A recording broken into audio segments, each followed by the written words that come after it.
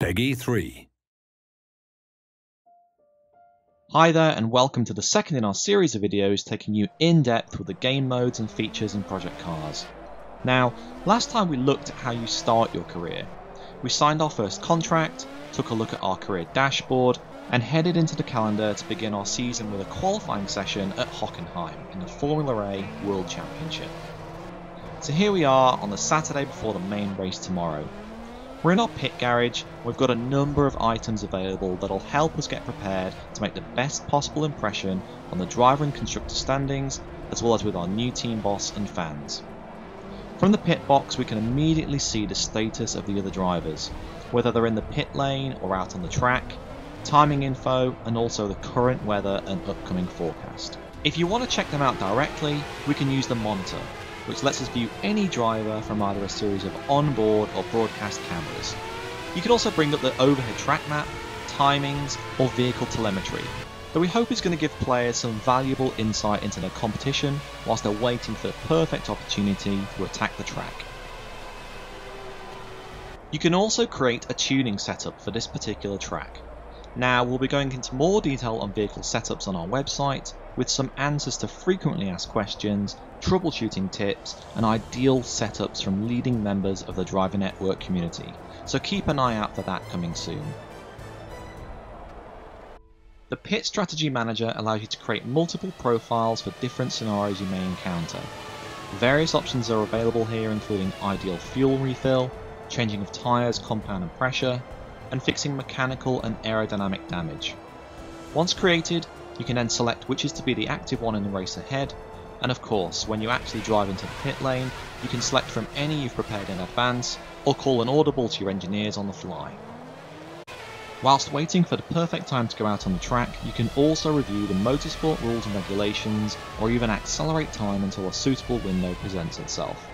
You'll also see there's the option to go to the online lobby.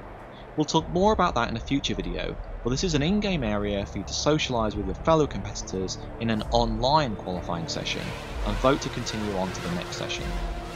It looks like we're ready to go now, so let's head out.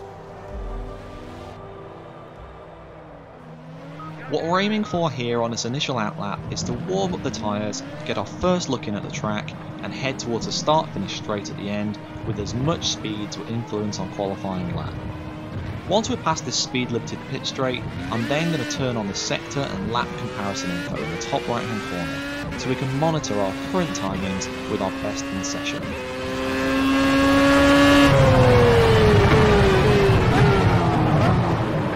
Whoops, looks like I broke a bit too late there, but lucky it was just the cone. So I'm going to shut up now whilst I concentrate and you can enjoy the remainder of this session.